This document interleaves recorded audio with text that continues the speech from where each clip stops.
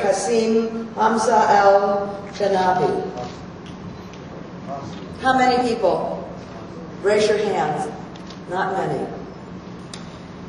Abir was a 14-year-old girl living with her family about 50 miles south of Baghdad, trying to grow up as best she could in a country ravaged by war and violence.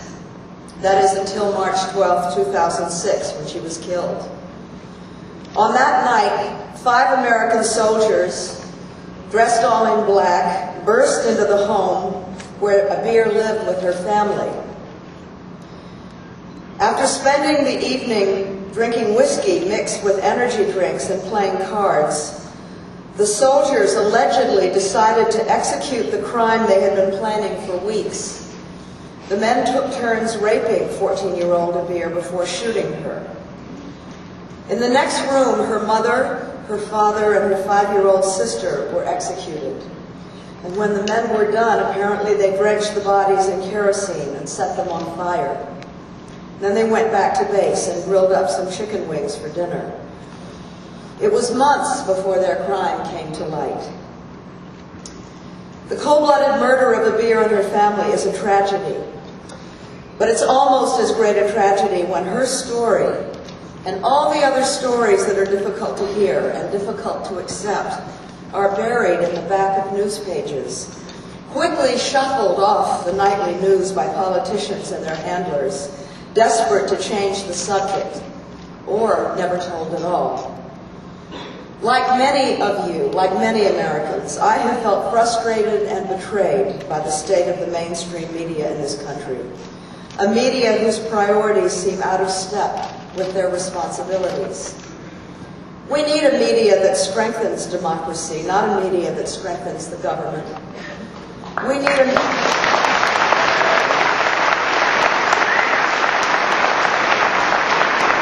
We need a media that enriches public discourse, not one that enriches corporations. When we reforming the media, what we're really talking about is a creating a media, a media that is powerful.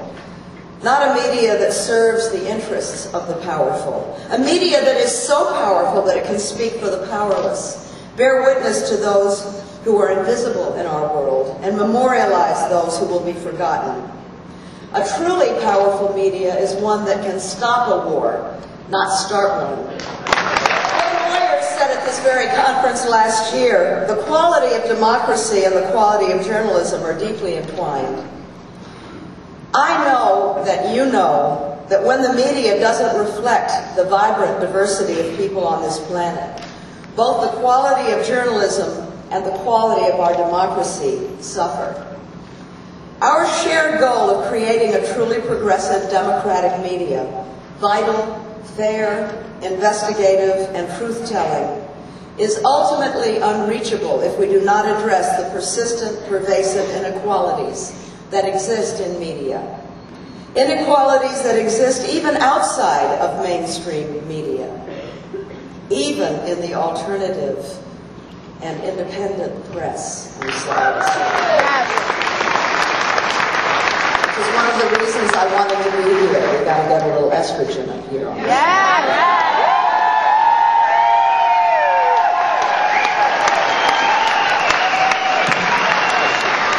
As all of you here know tonight, know, the existence of the indep- of independent media has been severely threatened. I know that lots of speakers during this conference have talked about it. We've seen a new concentration of media ownership. Heck, I, I've been married to it. I saw it happening in my very own bed. The erosion and elimination of federal regulations that promoted a diversity of viewpoints, this has weakened our country morally, physically, and spiritually.